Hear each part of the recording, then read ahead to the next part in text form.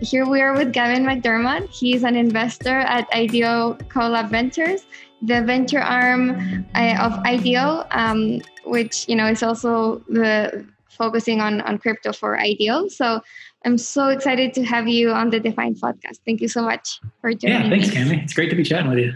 Yay! All right, so. Um, I'm really interested to dive into what uh, you're you're doing with this fair launch capital movement, which you know it, it's becoming like like this um, new new trend in in DeFi, and I think is really exciting because it's taking the the space where um, to, to, a, to a more healthier place than what, what it's been trending towards. But before we, we get to that, I, I just love to kind of get your background um, and you know how you got into crypto in the first place. Yeah. Um, so, I mean, really quick, quick background was a long time ago. I was in finance and I was looking for a way to improve just the general system state. So when Bitcoin happened, it made a lot of sense. I ended up moving to San Francisco in like 2012. Um, that's where I met Mike Belshe, and I was the first engineer hire there. So I ended up growing BitGo with Mike and the team. Um, yeah, for a few years. Um, then stepped out and then wound up. Uh, took a little time, and you know, as Ethereum and things were kind of happening, um, IDEO, it's one of the world's best design firms, let's put it like that. And so after having seen what amazing engineers can do without design, I thought it'd be a great place to go see what the world's best designers could bring into crypto. And so I've been there since, and it's provided really fruitful soil for uh, for exploring that. Oh, that's interesting that you, you got into it from kind of um, a design perspective. Um, yeah, well, it's like I love the engineering side of things, mm-hmm. um, but engineering is only part of the equation. And so we've got a whole lot, like, and you understand this well with the way you write and the way you storytell. You need storytelling and narrative and design to be able to bring these kind of abstruse things into the public domain so that more people can use them. And without that, it just kind of winds up this esoteric thing that you just talk about and very few people use. Very interesting. So, um, so from from when have you been uh, investing in IDEO? Yeah, so we started the fund uh, a little over two years ago, mm. um, and we're IDEO's first venture fund in this space. And we started investing just, it was kind of a side effect. Like we've always been really hands on builders, and that's kind of where we all come from. Um, and we had this lab where we were really, we'd been, we got really hands on in the early days. I mean, we, we know uh, Demi and the team at OpenZeppelin before it was OpenZeppelin, back when they were at Streamium, so we were working with them we had worked on uh, the first version of Augur's interface with Joey and the team and their first team. So like basically throughout the years we've been working with these really amazing founders and projects and a lot of the times they'd ask us to write checks and we didn't have any capability of doing that. So the fund was kind of a side effect of all the hands-on work we'd been doing because yeah, we were, we were effectively that was that was our our talent was bringing design into the space. Mm. And so being able to speak both design and engineering, it was like, well, we've got a we've got a real ability to get involved early and not just write a check. And that was kind of the thesis behind the fund was let's add a lot more than just money because if capital is a commodity, um, we need to be able to do a lot more. And so, yeah, again, IDEO was was a really great ground for that. Oh, that's interesting. So, what IDEO, what what you do is you you help out projects with their different um, design decisions, and I, I guess like how you help them actually build the, the product and also in, invest in, in these projects as well. Yeah, so we're, we're we've been extremely hands on. Um, we've been in, heavily involved in you know the economic design side. Um, we did a lot of interesting things with some projects like Future Swap kind of earlier in the year, mm-hmm. um, and then on the product like the product design and the and the hands on brand design, narrative and storytelling, like we were talking about we've got the world's best people involved at IDEO, and to bring them to bear with some of the projects that we work on is a lot of fun. And so that's yeah, that's kind of the the blend that we have. Is um, like I said, I think capital is kind of a commodity, and so we're looking at how do we do more for these teams because we all love the space, and you know, like we're kind of talking about like fair launch capital and some of the things that we all write and talk and, and believe in. We just need to bring a little bit more than uh, speculation. Mm-hmm. Very cool. Um, and so you, I, guess, at at BitGo, you, you started out in kind of the, um, the, the Bitcoin side of things, but like the investments that you've mentioned are, are more on kind of Ethereum. Um, so how, how does that work at IDEO? Is it just like kind of I don't know, a coincidence or chance that you kind of focused on Ethereum, or is that kind of uh, a thought out decision? Yeah, strong belief in both. We're invested in both, and mm-hmm. I believe that both are actually extremely cru- they're crucial for for the way this movement's going, and they both have completely different roles to play. Um, so we're you know, I, I, I believe in both. So let's mm-hmm. all put it that way. Mm-hmm. Um, but where you know where we've tended to go and where we have seen a little bit more fast pace in terms of what we can do and how we can iterate on on evolving things. Ethereum has been just a little bit more activity there, so that's where we found ourselves um, being a little bit more hands on to date. Um, and and you know, yeah, I'll leave it there. Yeah, no, makes sense.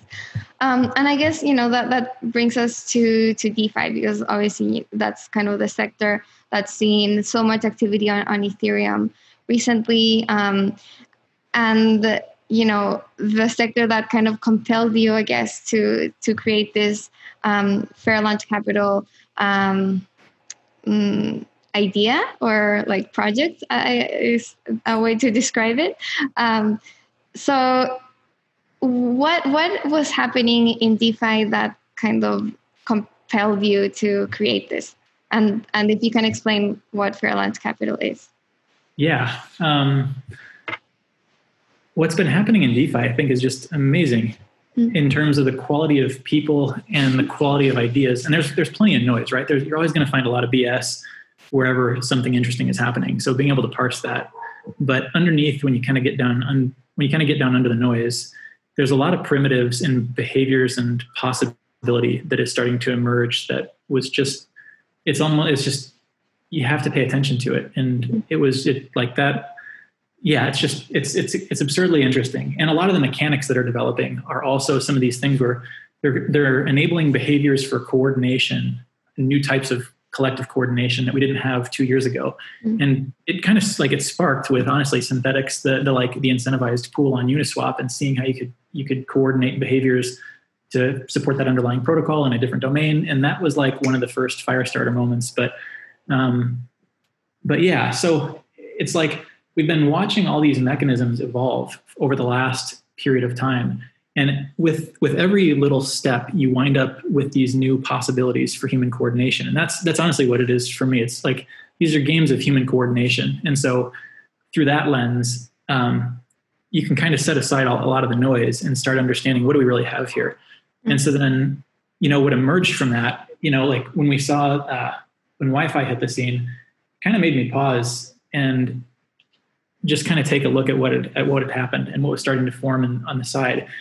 And let's just like put put like a, a pin in that and say that's one like data point on the landscape. Uh, on another data point, you know, I've been in, in conversations with uh, founders.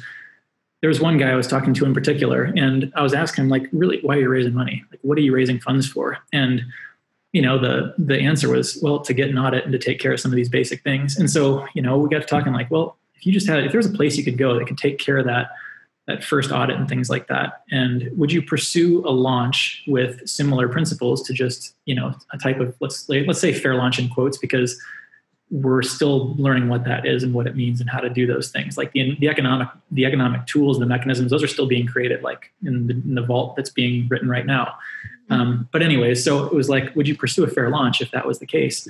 And his answer was, well, yeah, that'd be great. There's just nowhere to do that right now. And so that was like the fire starter of, okay, so the bet was this. It's like for every founder that wants to go raise traditional capital, um, there's there's I'm guessing a handful of founders that would be interested in pursuing a different model. And that's not saying that like, you know, uh, unequivocally a fair launch or the fair launch dynamics are better than going and raising VC funding or anything like that. I think there's there's room for both, but it is optionality and it is a new design surface that we have to work with. Speaking of design, and so as soon as you know we ran that by a few founders of like if we just had this as a potential, what would you do with it?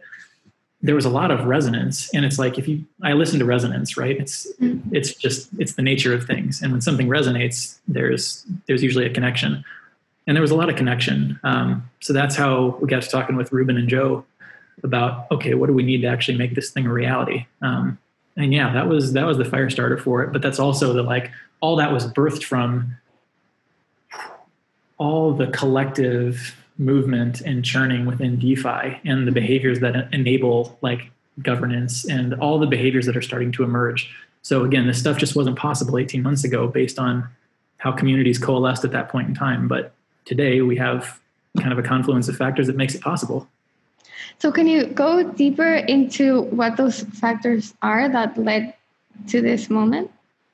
Yeah. Um, let's start with let's start with just engaged engaged community and mm-hmm. quick coordination and decision making the ability for people to just make decisions on chain and evolve that into a protocol quickly we the, the the speed of that of that iteration loop just keeps increasing so like the, the loop keeps getting tighter and tighter and so we've got a really solid foundation of people who are active governors i would say at this point in time. More you know it's not it's not giant but it's it's larger than it was you know by let's say an order of magnitude than it was last year at this point in time. Mm. and so we've got we've got domains for dialogue on twitter and other places where pseudonymous anonymous or fully named people get involved in public conversations about what decisions are coming up.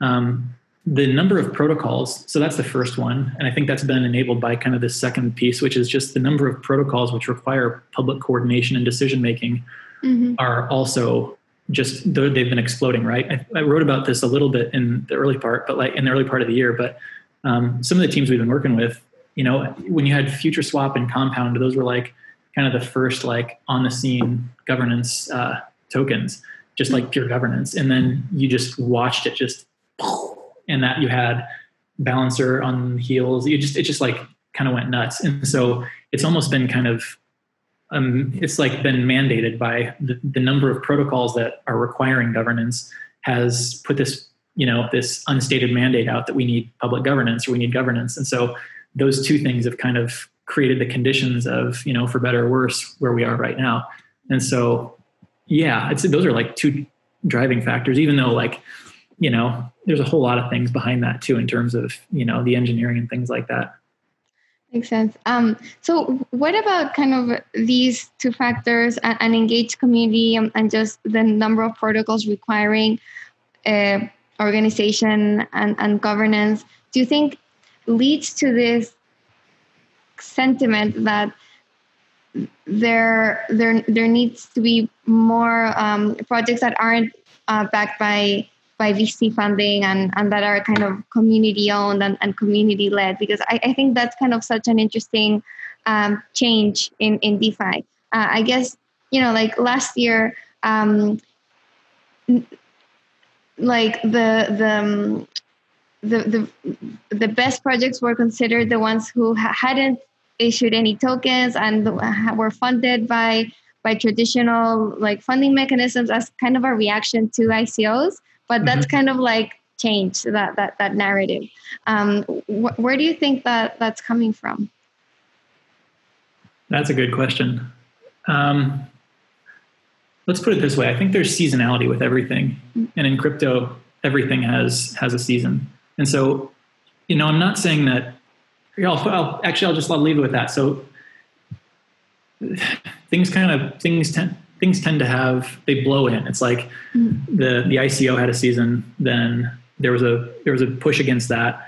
However, it's like if we get out of the mentality of seasonality and we just think about what are options, I'm all for optionality. Mm. And Alan Kay had a really nice saying though, but he talked about a pencil being high technology because an infant could pick it up and you know just like scribble, but but anybody can use that to express themselves, and so that has a that has a I really believe in the idea of reducing reducing the barriers between a person and their expression.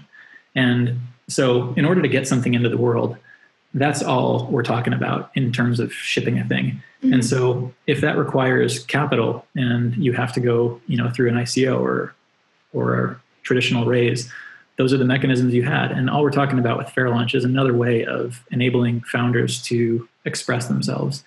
And so for me, it's all about, you know, it's, it's about optionality and giving founders and creators new options of expression so that, that they can be a little bit less constrained in what their possible and potential paths are. Because when you, a lot of times what you want to do doesn't necessarily follow the rules. or the rails that have been set. And so very, it's not very often that we get new potentials that that allow an entire generation of people to do some to do the thing that they wanted to do in a new way. Mm-hmm. And that's one of the neat things about our domain is that crypto tends to play in that space just on a very natural basis. And a lot of new things keep emerging from it that are fundamentally uh, new. Mm-hmm. And that's just, that's it. So all these things have their seasons, but also I don't think every one of these things is a fad. I think there are sometimes, and very occasionally, we get these markers on the landscape of, of what crypto is that are just like a beacon of how things will likely be. And so, yeah, that's, that's, that's it. Interesting. Okay. So do you think um, this way of raising capital can be, you know, just a, a, a new way going forward in in general of of fundraising? I absolutely, yeah, I do. And mm-hmm. I, so, like I said earlier, I don't think it's um, I don't think it's a replacement for venture capital. Like you, you always need you'll always need good people around the table. But and maybe it's not right for. Here's the thing: it's like we're still in the fair launch was like YFI happened a few months ago. Fair Launch Capital happened about a month ago, and you know our child was born somewhere in between there, so it's mm. been kind of a blur. And the the thing about it, or the thing about this, the speed of all of this is that it doesn't obviate anything that came before it necessarily, but it, it, it's such a it's such a what's the word I'm going for on this one? So it doesn't obviate anything, but it's fundamentally be- it's a it's a it's a better option if that's the op- if that's the path you want to take if that makes sense yeah like it's not like objectively better on on all these things so you can't mm-hmm. like it's just it depends on what you what the dynamics are you want to you want to have as a founder so if i want to have you know a, a, certain type of community dynamic and if i want x and y and z then i would probably choose this. However if you know if, if it's a larger like multi-year huge heavy infrastructure build like maybe a fair launch you know is not the best setup for that. Like right now you know those those long duration uh, long runway to public launch might not be the best setup for this yet. Mm-hmm. and so you know what i hope to see is that we get out of the a lot of the conversation early on has been that like you know forking a protocol and and distributing tokens is a fair launch well that's great but it also does it's not the best way to necessarily do that. What we've got to do is evolve these mechanisms so that we can understand what a fair launch can be, and so that founders and teams that want to pursue that can they know what they what they have to work with. And right now, none of the, none of the community behaviors and norms have been established, and so the risks are really high. And yeah, so it's kind of like we don't know what a fair launch can be because it's just the early days. We just know we have hints of what the possibility are. Hmm. So at this starting point, what does um, the fair launch plan currently look like? Like, what what does it actually um, do? Like, what what are the steps that the, the teams take? Yeah. So right now, we like we so we just selected the first project. That's Marquette, and that's with uh, Simone and Emilio Bonassi from. Uh, they've been doing uh, they've been super active in the community for i'm trying to think of when i first saw their projects but they've been involved in the Synthetix community they've just mm-hmm. been amazing people um, so that's the first project that we ended up selecting and we've been designing uh, so Stani from Aave and the team uh, they've been absurdly helpful so Stani and andre and Kain uh, they they got involved really early and were extremely supportive and so what we've ended up building out is this custom vault that allows for the project team and we're still designing it right now but will effectively people will be able to deposit aTokens, any aToken, in as collateral or as into the vault, and then we'll allow the Marquette team to draw from that, and then they just pay that back over time. So it's basically a credit delegation vault with a few custom levers on it, um, and that's how we're designing it right now. And that's you know so it's it's a little bit of using some of the infrastructure that exists in the in the current ecosystem, mm-hmm. working with the teams that are actually pushing the edges of that. So we've got economic designers around us that are just superb um, and that are also involved. And then on the project side, uh, you know, we went through a selection process, and Joe and Reuben were great about this. But we had a lot of conversations with um, Emiliano and Simone about how to actually do this and what the risks were, because you know it's a risk for them to pursue this also. Like, mm what if, what if, you know, what if uh, the community doesn't act in their best interest and actually grant them something meaningful? Like, so talking through what the risks are for founders as well as what the risks are just kind of from a project standpoint that can sync this are that was a big part of this and so the process right now has been extremely hands-on and also very organic and also really supportive from the community side the the people and we've been we've been talking about since the early days right? When it was first an idea i remember talking to you. So we've got you know 25 30 people who are really hands-on and really supportive that we can take things and bounce them off of. And the idea is let's just get this first project right. And if we get this first one right and we figure out some of the behaviors and we create a few economic tools in terms of contracts and vaults and things like that then we've got you know a first template or another template that we can then mm-hmm. take that and go forward. But i think where we are right now is we've got a lot of learning ahead of us. And so i'm hoping to see a lot of founders that where this model makes sense pick up the ball and run with it. And then we get to do some economic design with them on the on kind of the leading edge of what these what these models are.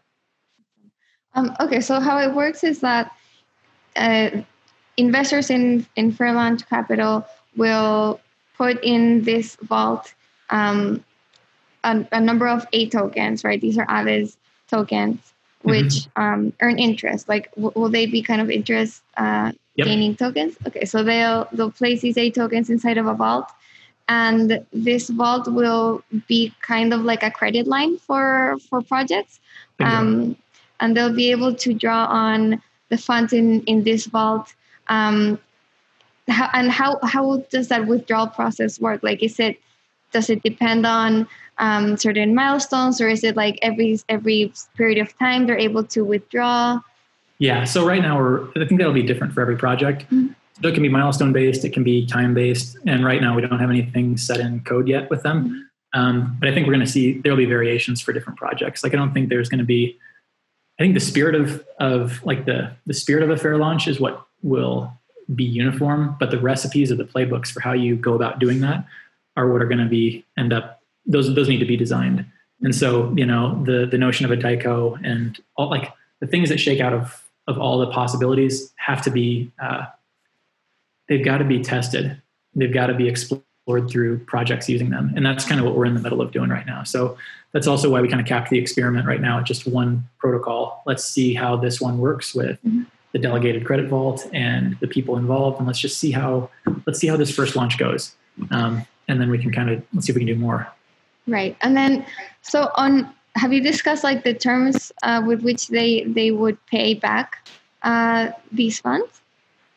Yeah, so the terms are pretty straightforward, right? At least right now, the it's pretty widespread, but basically pay it back within the first year, and okay. you can pay it back. And you know, the, the ask is to pay everything back within the first year, but we're asking to possibly pay back maybe double, so we can then go do two projects. Mm. Um, that's not a mandate by any means, but it is a request. Um, okay. And then we could basically we could see if we could go uh, multiply that and do a couple more projects. Mm-hmm. And so hmm. that's it. Right now, we're keeping it, I think, pretty simple just to see if we can, because what we've got to really prove out here are the community behaviors. The, the biggest risk is for founders right now. Um, mm-hmm. And will they be compensated? And how do we design the compensation mechanisms in for them? And so that's those are some of the big unknowns is you know i don't think that founders should step into a fair launch with the risk over their head of not receiving compensation for mm-hmm the the amount of work they've put in. And so I think that's a false dichotomy that kind of exists right now just because the norms haven't been set. So our job with this one is let's establish a few norms and data points that we can point to how these things work, or hopefully not how it doesn't work. But uh, yeah, you get my yeah. idea. Mm-hmm. Um, okay, that's interesting. So basically, what happens is that the um, interest that in in projects, or at least this project, pays over their loan becomes um, kind of the um, extra capital that the fund gets to to continue uh, funding other projects going forward.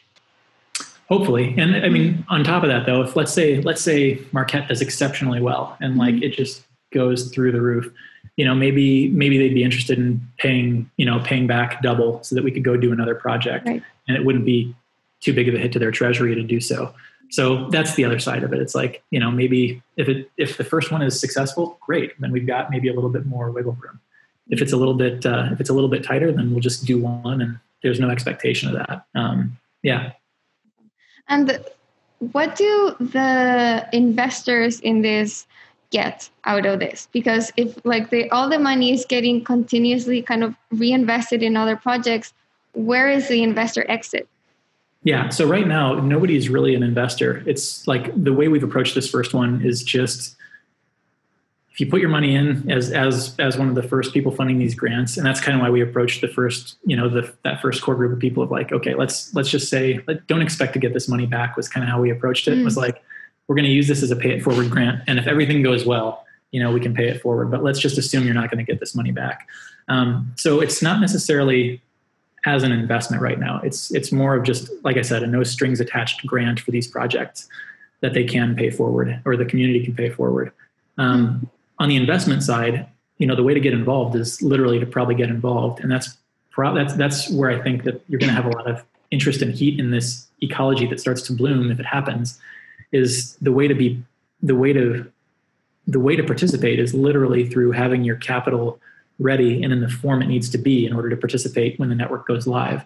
And so in the case of in the case of Marquette, um, what you want to have is you want to be a member of the Synthetix community and also of the uh, Aave community, right? And so that's so you can be participating from day zero without necessarily having to change the the structure of what you have on hand. And so that's where it like it pays to be hands-on and close to these things and supporting them so that, that way you can you can be able to move nimbly enough for this project. And on day zero you're ready to go participating with everybody else. So mm. as an investor you're you're incentivized to participate. Um, but you you know for the people that are effectively funding these first audits it's not really an investment. It's more just a you know it's a grant. And let's see if we can catalyze you know more of these projects.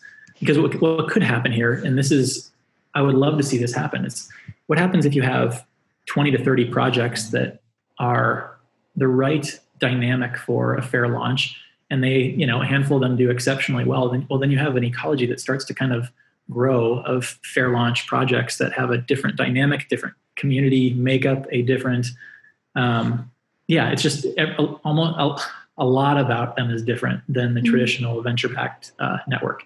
And as a result, we're going to see how those dynamics play out in time and, and over the next you know 18 months. And that to me is extremely interesting. Mm-hmm. what what are the slight what are the like the things that seem nuanced today that are actually magnified um, in the next market or you know like the things that we don't know that we just kind of assume? Um, and so it's it's really creating the the conditions for a lot of live experiments to sit here and grow. Um, and that's what a lot of these first people are who are involved. It's do they they want to see this experiment and so let's create those conditions. And so they're helping us create the conditions. Got it. So i mean basically what i think investors will get out of this is just you know be close being close to these projects and and by by supporting them if, if these projects do well uh, then they'll do well too because they were kind of in from the very you know early days and investing in them or not investing in them but but just like using the the, the protocol providing liquidity or whatever it may be um, yeah. so so so that's kind of how i'd augment that with one thing too it's like the way that uh, emiliano and simone have designed um, marquette is that you know it's not just it's like fair launches need to go beyond liquidity mining really quickly because mm-hmm. like let's get beyond the first generation like bootstrapping mechanisms and so what they're doing with with uh, with their launch is it actually uses the native like it actually adds it uses Synthetix and, and Aave for what they're meant to be used for so it's a really symbiotic bootstrapping mechanism in order to bootstrap marquette into existence it's not really parasitic or it's not parasitic at all when you consider how it's working. And so what, what we need to see are again the development of these of these bootstrapping mechanisms so that because what it does is it actually makes your investment in, in Aave or Synthetix, it supports the, both of those in addition to making this new thing possible. And so as an investor, like I'd be looking for those types of projects which actually support the the like let's call them like the layer ones mm-hmm. like the the foundation level projects that made that possible right Synthetix and Aave mm-hmm. and then you have marquette on top of that and so um, understanding both of those dynamics i think is extremely useful so it's evolving those bootstrapping mechanisms so that the way that you actually bootstrap your fair launch protocol into existence is symbiotic as opposed to, like I said, parasitic. Um, mm. Because yeah. So would you describe some of the kind of yield farming uh, projects right now as parasitic?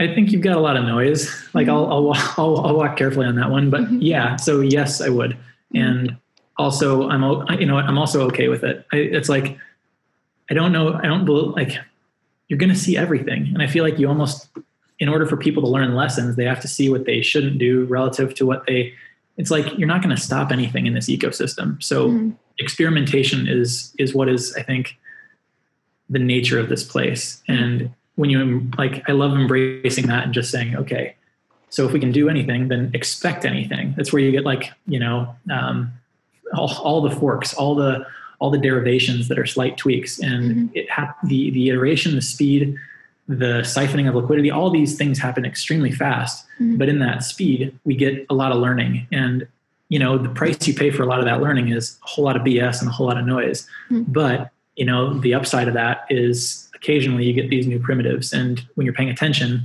you take those things out and you say ah that's the diamond in the rough and now let's like let's refine this and so that's you know hopefully that's what we're doing with with fair launch as like a as an experiment you know mm. is this one of those primitives that we can take and really refine and let that become a tool for a new generation of network creation mm. Um, I'm, I'm, interested to hear more about how you think um, this this new mechanism can help bootstrap projects and, and move beyond this like yield farming way of, of adding liquidity because you know yield farming has been extremely effective in driving short-term liquidity but we've seen you know th- there are different degrees of success in in keeping that liquidity once the rewards run out so, mm-hmm. um, what are your thoughts on, on kind of how the space can can move forward, and, and how does Fair Launch play a part in that? Yeah. So what you're talking like another way is like how do you? There's a lot of conversation around like what is the unforkable thing, right? Mm-hmm. Like because you know if you had asked a lot of people at the beginning of the year they'd say oh it's liquidity and the the wars around liquidity are going to be a thing.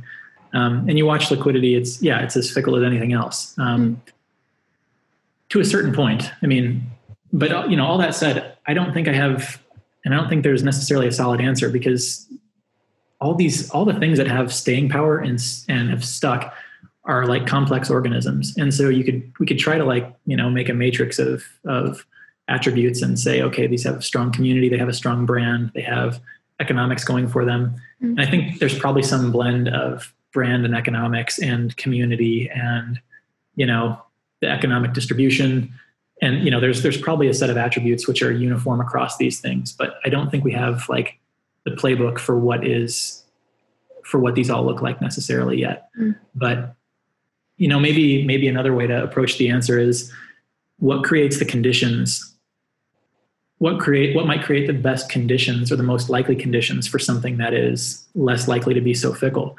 and in that case it's like let's assume that most people are profit seeking. That's great, but um, then what are what are you looking to create? Is it just is it like in a, in a long term protocol? Can do people want to stay involved because they believe that's where the profit will be long term? And along the way, are they are they are they capable of seeing the upside as that's happening, mm-hmm. or is it the case like?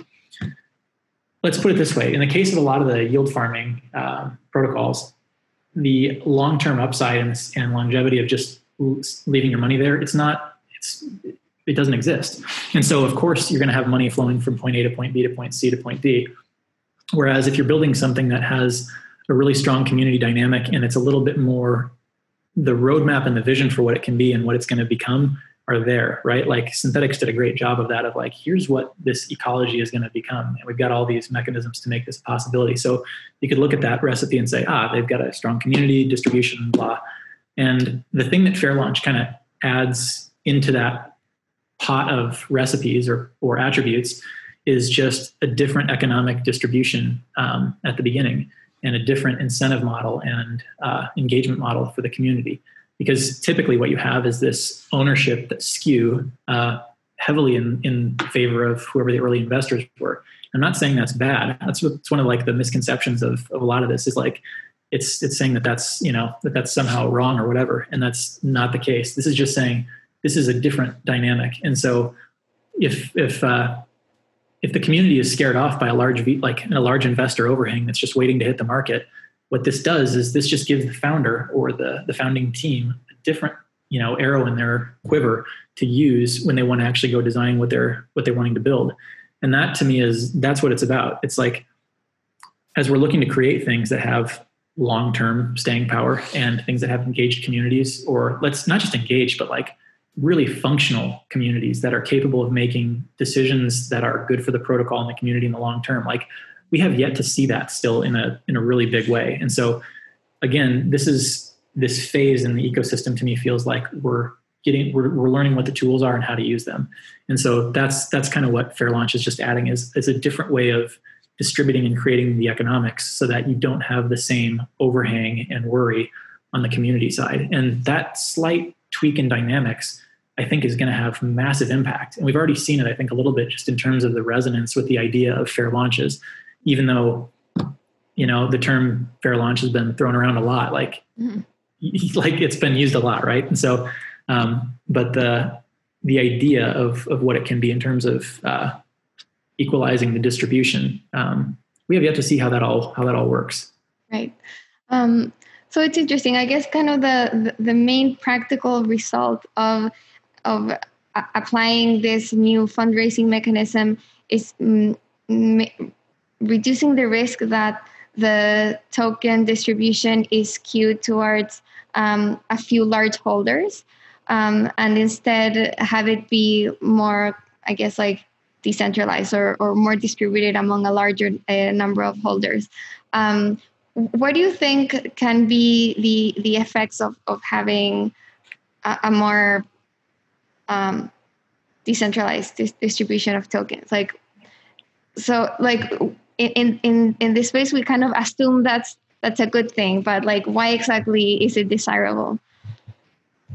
There's a whole lot of reasons we could I could probably dive into. Um, number one is just the let's just let's say you've got creating a community is a really hard thing to do. Like it's just everybody talks about community, and it's but there's really people you're either like really hands on and you love what you're doing and you love the thing, or you don't and it's really apparent when it's either or. And so if you're like creating a community in itself is a hard enough endeavor. And if you're trying to do that with economics that are skewed from the beginning and people and here's the thing the, the market is becoming smarter. And so they're going people are more aware of that dynamic. And so when when you're trying to create a community and things are out of balance you have you're working up you're, it's like you're working against two forces. Mm-hmm. but if you can kind of take that, do a little judo with it, use that same momentum, and and do a little, yeah, do something a little bit differently. Then what you end up doing is you take one of the hardest problems and you actually make it one of your biggest strengths. And so that's it's like community is one of the hard things to fork, I would say, but it's also one of the hard things to define. And so that's what makes it kind of this fuzzy thing in conversation. But it's a very you know it's it's like it's impossible to miss when you're part of one that is extreme that is coherent and functioning well. And that's and so that's like what this sets the conditions for. It's like it creates the conditions for a healthier community from the beginning that has certain attributes. And so you know you might say that you know really savvy folks actually show up in these things and the the investors that actually wanted to be that are that are participating in other networks will actually show up and buy into these communities and so the community formation is, is one side of that, I guess, is the like long of the short. Um, the other, you know, another one for founders is just, I think it's a really powerful thing to be able to, to have the option to bring your idea to market in a very different way. And so rather than going around and having to hop on the road and talk to everybody, if you have a, if you have a way to take care of some of the, some of the upfront costs of audits and you have the ability to build a really coherent community and the way you can actually target um, we're going to be, I think, getting really, we're going to get a lot better with our distribution mechanism. So the ability to target, you know, a certain type of trader or whatever it is, let's just say, I think those tools are going to come along. And so as a founder, um, I'm just able to express myself uh, much faster and reach the people without as many boundaries. And so that's that. Those are those are two that I just think are those are really compelling as creators and, and designers. Right. Um, um, yeah, and, and, just you know, speaking of, about founders, um, I just wanted to start kind of um, wrapping up with this kind of important issue of how, how to correctly incentivize um, teams building these projects. I think you've, you've kind of alluded to, to this, um, but I, I think it's been a problem, you know, uh, making sure that incentives are aligned between the users and, and, and the team. And, you know, I think kind of what happened with sushi SushiSwap and the chef Nomi leaving was an example of like how not to do things. Um, how are you thinking about this this problem? Yeah. Um,